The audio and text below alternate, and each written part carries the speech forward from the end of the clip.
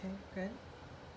Don't forget, yeah, so you're coming, we're gonna start at that short axis view of the subscaps. Go ahead and place the probe. Turn the probe ninety degrees long. Oh. There you go. Mm-hmm. Rotate the arm out. Have it externally rotated, nice. Scan superior towards her head. Now scan medial or midline. Medial or midline, nice. Keep going. Scan a little more superior. There you go. See how you see the brightness or the Mhm. hyperechogenicity of the tendon? Mhm. Can you identify the superior border? Point to that. You had it So really well. Uh huh. right Uh huh. You had it perfect. There you go. See the outline of it? Yeah. And then where's the inferior border? Point to that, please. Great. So there's your tendon in a short axis view over the humeral head, correct? Yeah. This is assuming that you already did the view where you came from the coracoid and you did the sweep to this level. Okay. Now from here, you keep that angle of your probe and I want you to bring the patient's arm in slowly. Rotate the arm in, you tell her, and you keep that angle and then wait till it comes to a point. There. Right You see that? Okay. Yeah. Now you're at that point of insertion. So now it's up to you now. You could take the top of the probe and angle it towards her head just a little bit. There you go. And then now tilt lateral. Tilt the probe lateral. There you go. Keep tilting, keep tilting. Perfect. There's your protocol Okay. picture right there. So you're examining, you're not only just trying to get that perfect picture, but you're scanning through that tendon at the footprint and you're looking for partial tears, you're looking for enthesophytes, cortical irregularity, but that would be the picture you could document that it was normal, Okay. okay? Or if there was a partial. Yeah. Perfect. That's that's it.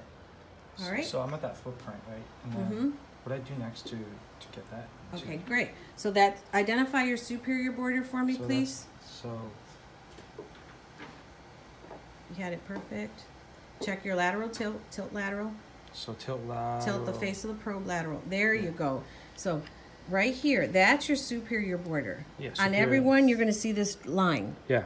right there, Yeah. right? So inferior border's down here. Mhm.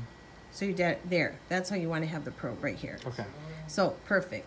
Now you brought her arm in, Mhm. right? Mhm. But you're going to bring it in till it comes to a point, right there. You see how it comes to a point? Mm-hmm. Yeah. Too far, because now you're right in, a little bit more out, right there, anywhere in there, and then you check your tilt. You tilt back into it. See the tilt?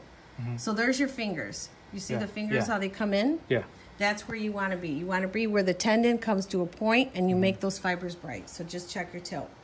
Beautiful. And then come up a little higher because you want the whole footprint in the image right there. And then this is where I said you can take this side of the probe, Mm-hmm. the top, and angle it. See what I'm doing? Just angling it ever so slightly. But look at how you can see your fingers come to that point. Those three fingers come to a point. Yeah. These all these fibers merge to that segment. Okay. That's that's that angle. Yes, that's that short axis you- view of your point of insertion of your Mm-hmm. subscapularis tendon okay. right there and that's all the footprint so if you just hit that little camera at the side on the side at the bottom.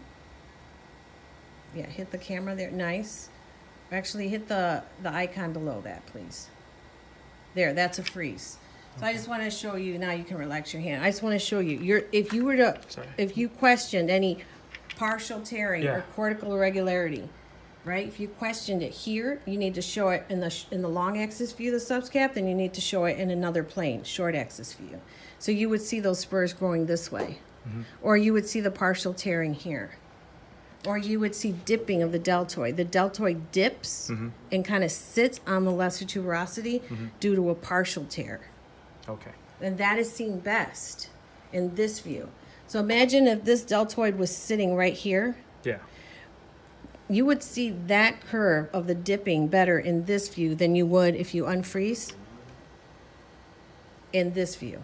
You would mm-hmm. see it better because see how it looks like the deltoid's already sitting Yeah. close to it? That's just because it's coming to a point there. Mm-hmm. I'm talking about this level. At this mm-hmm. level, you would see the dipping, Okay. but it's easier to see the dipping this way. Mm-hmm. You see that? That's why we do that image. So it's like a, you get a long axis view and then you get a short axis view. of the